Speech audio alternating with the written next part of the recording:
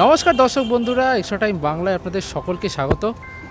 আজকের দিনটা একেবারেই খুব একটা ভালো গেল না বাংলা ফুটবলের জন্য কারণ প্রয়াত হয়েছেন কিংবদন্তি ফুটবলার তুলসী দাস বলরাম। আমি এখন দাঁড়িয়ে রয়েছি বাইপাসের ধারে এক হাসপাতালে যেখানে ভর্তি ছিলেন আহ, তুলসী দাস বলরাম। গত চব্বিশে ডিসেম্বর থেকে তিনি এই হাসপাতালে ভর্তি ছিলেন এবং আজকে তিনি শেষ নিঃশ্বাস ত্যাগ করেছেন এবং স্বাভাবিকভাবেই ময়দান অভিভাবক হারা হলো। ময়দানের ব্রহ্মা, বিষ্ণু বয়েশ্বর বাংলা ফুটবল তথা ভারতীয় ফুটবলের যে তিন দিকপাল ছিলেন চুনি, পিকে, বলরাম, তাদের প্রত্যেকেরই অবসান ঘটে গেল। এবং আজকের এই খুবই দুঃখের দিনে তুলসীদাস বলরামকে শ্রদ্ধা জানাতে উপস্থিত ছিলেন অল ইন্ডিয়া ফুটবল ফেডারেশনের সভাপতি কল্যাণ চৌবে এবং তিনি সাংবাদিকদের সামনে এসে কিন্তু শ্রদ্ধা জ্ঞাপন করেছেন এই বিষয়ে। দেখুন, এটাই বলব যে তুলসীদাস বলরাম ভারতবর্ষের যে ত্রিমূর্তি ফুটবল কিংবদন্তি পিকে চুনি বলরাম বলে সবসময় ডাকা হতো, পিকে স্যার এবং চুনি স্যার এর আগেই গত হয়েছেন। আর বলরাম স্যারও আজকে মারা গেলেন। এটা ভারতবর্ষের ফুটবলের জন্য অত্যন্ত দুঃখজনক এক ঘটনা। যে সময় ভারত অলিম্পিকে ফুটবল খেলতো, আন্তর্জাতিক স্তরে ভারতের একটা স্থান উজ্জ্বল ছিল। সেই সময় তুলসীদাস বলরাম একটা মুখ্য ভূমিকা পালন করেছিলেন। আজকে তার মৃত্যুতে ভারতের সমস্ত ফুটবল সমাজ ভীষণ রকমভাবে দুঃখী এবং ব্যথিত। এদিকে বলা চলে তুলসীদাস বলরামের শেষ বয়সে যিনি তাকে দেখেছিলেন, তার পাড়াতুতো একজন আত্মীয় বলা যায়। কারণ হয়তো রক্তের সম্পর্কে না হলেও তিনি কিন্তু মানসিক সম্পর্কে মানবিক সম্পর্কে একজন আত্মীয়। তিনি কিন্তু আজকে কানাডা থেকে হাজির ছিলেন। তিনি তুলসীদাস বলরামের দেখভাল করতেন। কানাডা নিবাসী। কিন্তু তিনি আজ এসেছিলেন তুলসীদাস বলরামের পাশে দাঁড়াতে, তার এই শেষ দিনে তার পাশে দাঁড়াতে এবং তিনি জানিয়েছেন তিনি জানিয়েছেন তুলসীদাস বলরামের শেষ ইচ্ছাগুলো তিনি তিনি জানিয়েছেন কোথায় তার শেষকৃত্য সম্পন্ন করা হবে। সে সবই আপডেট সাংবাদিকদের সাথে তিনি শেয়ার করলেন। উনি তিন দিন আগে যখন কথা বলছিলেন তিন দিন আগে কথা মানে আর তিন দিন আগে থেকে কথা বন্ধ হয়ে গেছে।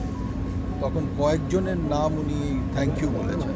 একজন হচ্ছেন স্যার আমি ওনাকে একটা হোয়াটসঅ্যাপে ওনার নাম্বার অনেক আছে। একটা নাম্বার এখান থেকে পেয়েছিলাম আমি হোয়াটসঅ্যাপ করেছিলাম সেদিনকেই।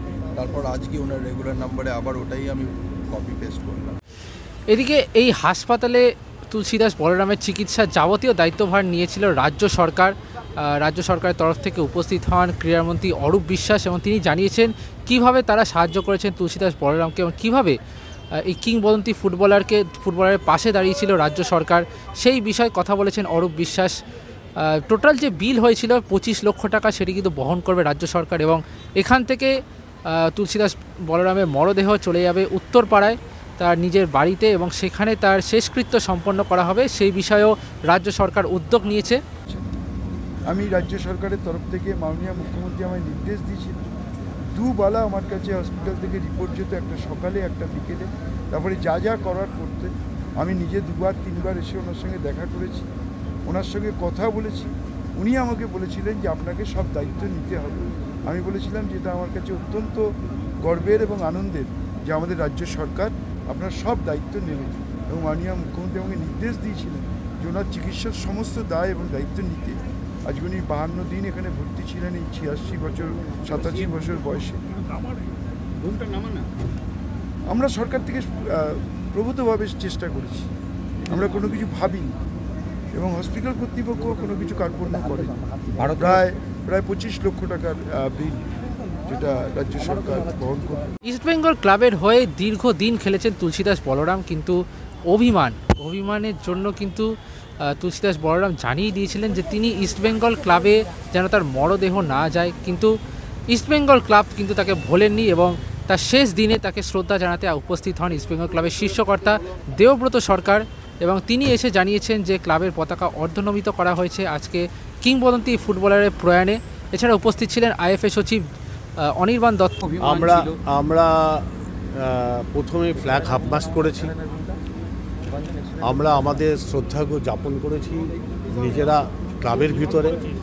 অলরেডি বড়মন্দার ছবি দিয়ে আমরা ওখানে মাল্যদান করেছি। এবং আগামী দিনে আমরা যেটা করণীয় সেটা আমরা করব। আগামীকালই আমরা পরিমলদা এবং শ্যামলদার স্মরণ সভা করছি। বড়রামদারটাও করব। বড়রামদা মানুষ জন্ম নেয় মা বাবার মায়ের কোল থেকে। ফুটবলে জন্ম দিয়েছে ইস্টবেঙ্গল ক্লাব বলরামদাকে। এবং দেশ চালাতে গেলেও কোনো না কোনো সময় কোনো সমস্যা দেখা দেয়, ভুল বোঝাবুঝি হয়। কিন্তু এগিয়ে যেতে হয়। আমরা আমরা এগিয়ে যাচ্ছি। আমরা বলরামদা যখন ভর্তি হয়েছিল সেদিনই রাত্রিবেলা এসেছিলাম, আমি নিজে এসেছিলাম, দেখা করে গেছি। আমরা খবরাখবর রাখতাম। মাননীয় স্পোর্টস মিনিস্টারের সঙ্গে যোগাযোগ রাখতাম। উনি সব দায়িত্ব নিয়েছিলেন এখানে। এবং বড়রামদা যেভাবে সম্মান পাওয়া উচিত আগামী দিনেও, আমরা সেটাই করব। বড়রামদা ইস্টবেঙ্গল ক্লাব থেকে অলিম্পিক খেলেছেন। ইস্টবেঙ্গল ক্লাব তাকে দু হাজার দশ সালে ভারত গৌরব সম্মান দিয়েছে। আমরা যা যা করা দরকার করেছি, কোনো কোনো জায়গায় হয়তো কোনো একটা ভুল বোঝাবুঝি ছিল। কিন্তু আমরা সেটাকে উপেক্ষা করে ওনার কাছে বারবার গেছি। আজও এসছি। আগামী দিনেও বড়রামদাকে স্মরণ করব ভুবনেশ্বরে ছিলাম, আমি আজকেই ফিরেছি, ফিরেই খবর পেলাম ফোন অন করা মাত্র যে তুলসীদাস বলরাম আমাদের মধ্যে আর নেই এবং আমি সঙ্গে সঙ্গে এয়ারপোর্ট থেকে দৌড়ে এখানে আসি। যেটা শোনার পর থেকে আমার মাথায় বারবার ঘুরছে হলো, বাংলা ফুটবলের বোধহয় শেষ স্তম্ভটা চলে গেল, একজন মহিরুই চলে গেলেন। আমরা ছোটোবেলা থেকে ওনাদের খেলার গল্প শুনে বড় হয়েছি পিকে চুনি, বলরাম।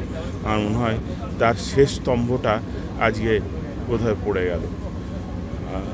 আমার মনে হয় এটা বাংলা ফুটবলের কাছে একটা বিরাট শোকের সংবাদ। শুধু বাংলা কেন, সারা ভারতবর্ষের ফুটবল সমাজের কাছে এটা একটা বড় শোকের সংবাদ। উনি প্রবাদ প্রতিম একজন মানুষ, যার গল্প, যার অ্যাচিভমেন্ট নিয়ে আগামী দিনেও কথা হবে এবং উনি চিরস্মরণীয় হয়ে থাকবেন আমাদের মাঝখানে। ওনার চলে যাওয়াটা একটা বিরাট ক্ষতি আমাদের কাছে একটা বিরাট সম্পদ আমরা হারালাম আজকে ওনার চলে যাওয়ায়। আগামী দিনে আইএফএ কোনো রকম বলরামের সম্মানে বা বলরামকে শ্রদ্ধা জানাতে কোনো কিছু অ্যাওয়ার্ড বা কিছু আমরা এরমভাবে তো এখানে দাঁড়িয়ে বলা সম্ভব নয় কিন্তু এটা সত্যিই হওয়া উচিত। এই তিনজন যে স্তম্ভ তাদেরকে মনে রাখার জন্যে আমাদের তরফ থেকে একটা প্রচেষ্টা থাকা উচিত। আমরা চেষ্টা করব এবং আমরা মিটিংয়ে কথা বলে আমি আশা করছি সবাই রাজি হবেন যে আমাদের খেলার মধ্যে আমরা যদি ওনাদের তিনজন, পিকে চুনি এবং বলরাম তিনজনের নামে তিনটে অ্যাওয়ার্ড করতে পারি বা ট্রফি করতে পারি, যেগুলো যোগ্য প্লেয়ার বা টিমদের তুলে দিয়ে তাদেরকে অবিস্মরণীয় করে তাদেরকে আমাদের মাঝখানে চিরকালের মতন ধরে রাখতে পারি এই অ্যাওয়ার্ডের মধ্যে। সব মিলিয়ে চলে গেলেন কিন্তু ময়দানের এক চির বিদ্রোহী, চির অভিমানী এক ব্যক্তিত্ব।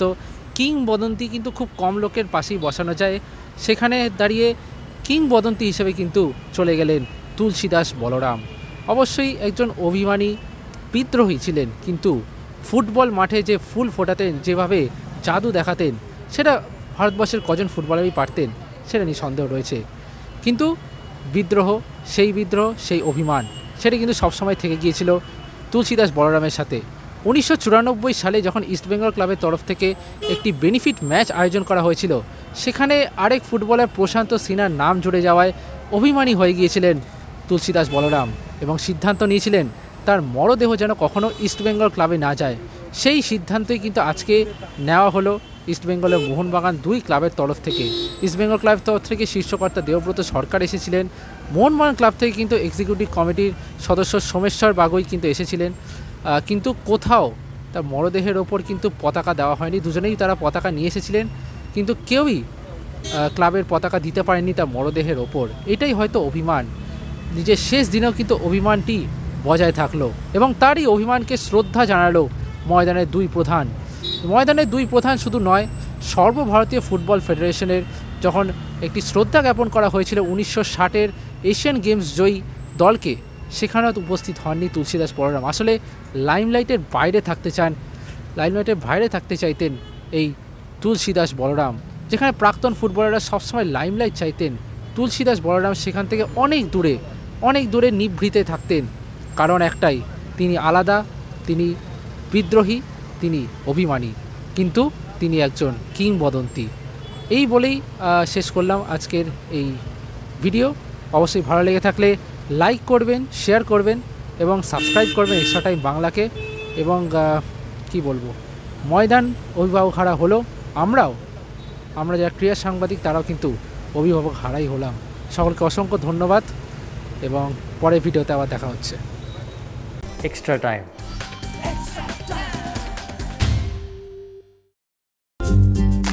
লেটেস্ট নিউজ আর এক্সক্লুসিভ ভিডিওর সঙ্গে আপডেট থাকতে এখনই সাবস্ক্রাইব করুন আমাদের ইউটিউব চ্যানেল বেল আইকনে ক্লিক করতে ভুলবেন না যেন।